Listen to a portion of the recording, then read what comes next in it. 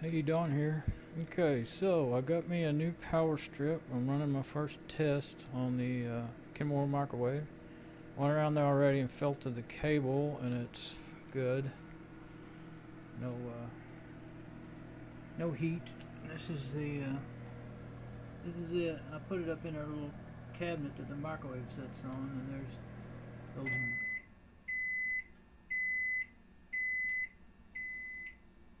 bug repellers are plugged into it. That's the only thing plugged into it besides the, and they take up the whole thing too. It's the only thing. It's a, it's upside down, but that's a triple light or triple light. I call them always call them triple lights. It was probably a while, a couple of years before I even realized how they were really spelled. Trip dash light, two T's. But uh, these things are actually made in America. I've I've used used them for years and I like them. I've never had one go out. And uh, this one was twenty six, twenty seven dollars. But it also has. Um, I could have got a little bit cheaper one, but it also has phone. There's our phone wiring right there. Um, right here we used to have a. I just we used to have a wireless, but the phone died, so. Uh, Got another wireless setup with like five five phones, so uh, I just wired it through there because it has a phone line protection. I'm not gonna drag it all the way out, but they're plugged in at the end of it down there. Um, and it's supposed to help. We have trouble with noise on our phone line, not very often, but whenever it rains and stuff, it's supposed to help with noise. So maybe it'll help with that. Right now, I don't.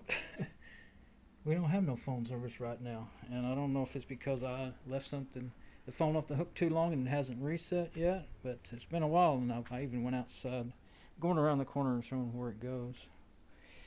I even went outside and, you know, looked around in the box, made sure everything was, no wires were loose or anything.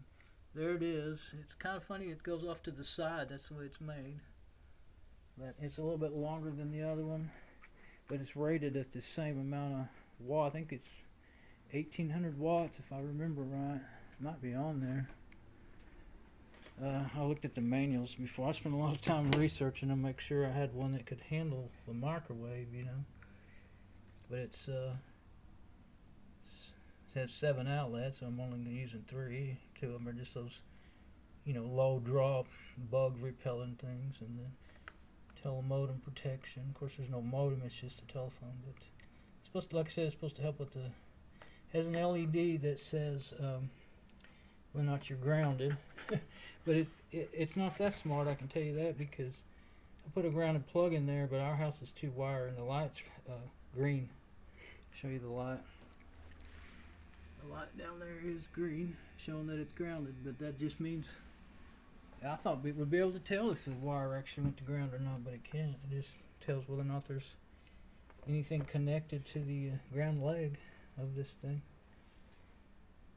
So, don't let that thing, that kind of sensing, be your uh, tester. For sure.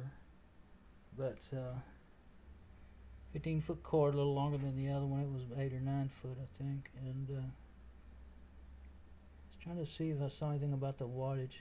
And they have, you know, a lot of these have these guarantees uh, on your equipment and stuff. I mean, this will work for computer. This is really made for computers. Uh, it's kind of odd that they still make this one. Well, I mean, it's not odd really, because there's other reasons to protect your phone line besides a modem. But, but I mean, there. I guess there's plenty of people that live far out of the way from the cities that uh, still got either dial-up or satellite, and that you know, internet, or that's it. So, uh, so let's see.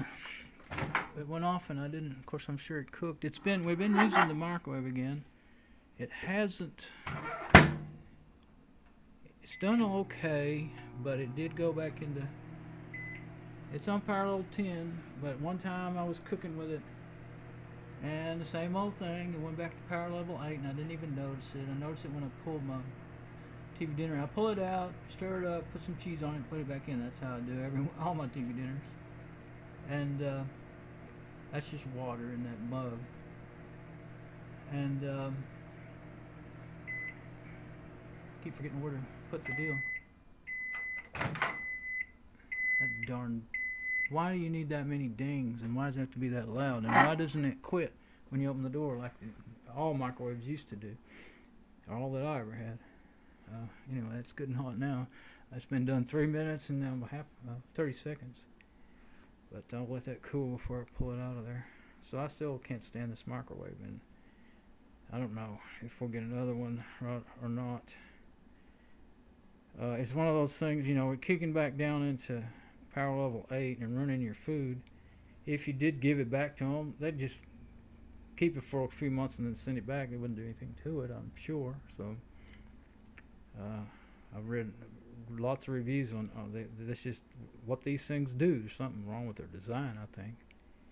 And uh, at least it wasn't.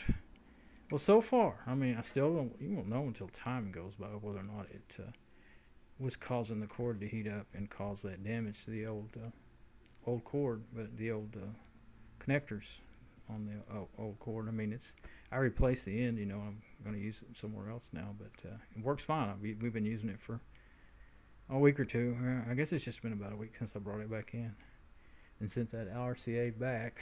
And uh, so anyway, we'll either get tired enough of it to go get another one again, or uh, if it causes trouble, we'll for sure get rid of it. But we've only got, if we were going to use the warranty, you know, then we've only got till January the 20th.